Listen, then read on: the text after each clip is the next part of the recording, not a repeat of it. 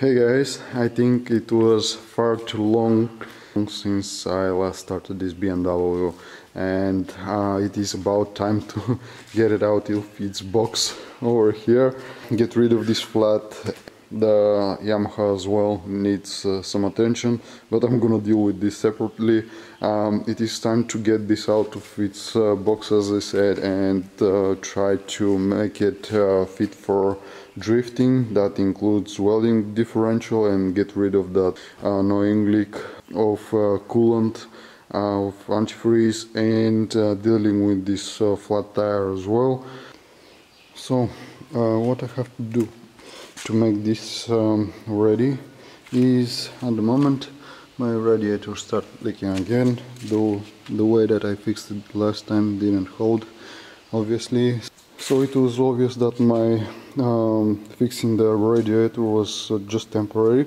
So um, I'm gonna try something else now. If it works okay. If it's if not I'm gonna invest in new radiator but I don't want to do that because my budget is very limited and I have uh, a lot of projects that I have to think about and lots of stuff that I want to do and I still um, haven't tested this car properly so I don't know if I'm that confident in investing a lot of money in it because if it is way too expensive I can end up uh, just um, get rid of this and buy a proper uh, machine that is gonna last me uh, a little bit longer than this thing. Uh, you can see the the condition of it. So it is kind of uh, uh, uncertain if this car is gonna hold or or what is going on. So before I test it uh, properly I don't want to waste money on it. And uh, the other thing that I have to do is uh, over here there is a pipe that also bursted and I have to replace it and that is also leak of coolant so all of this has to go away the intake manifold. I have to remove it and replace that uh, pipe as well.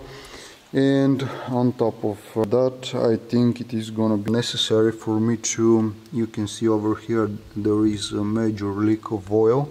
I have to remove this cover the valve cover and use some gasket maker some silicone type of glue to fix this uh, and stop this leak because it is uh, major and I don't want to waste that much oil and uh, make the engine starving for oil.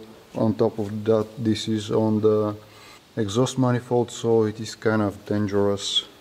So the car may catch on fire so um, it is um, just hazard. And um, the other thing that is on my mind now is to weld the differential. So I'm gonna start tackle this um, task one by one and we'll see where we're gonna uh, go.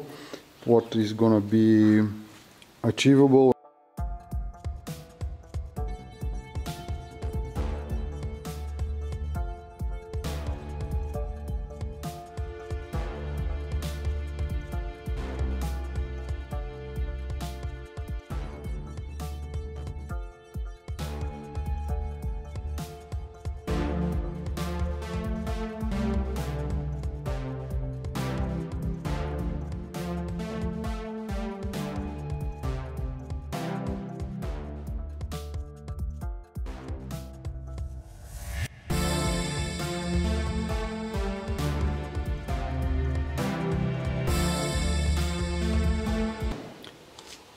the radiator is out I washed it a bit and left it to dry up.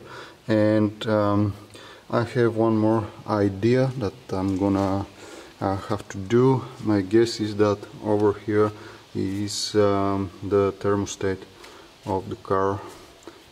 Or it is here. My guess is that is gonna be here or over here. But anyway I'm gonna try to find it and remove it because I don't want to have problems uh, later on and it is going to be better if the temperature of the engine is as low as possible so I don't need um, thermostat and I'm gonna remove it. And in the meanwhile I'm gonna start disassembling the intake manifold and everything that is in my way to get to that pipe I was talking about. So yeah uh, let's uh, start dealing with this thing now